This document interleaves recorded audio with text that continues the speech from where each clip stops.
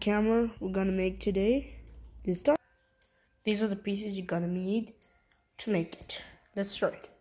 First we're gonna start with these two right there. I'm gonna put this there. There we go. Then this.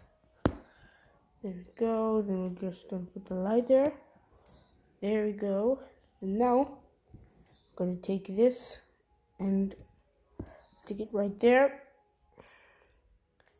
Then put the last part in, which is this.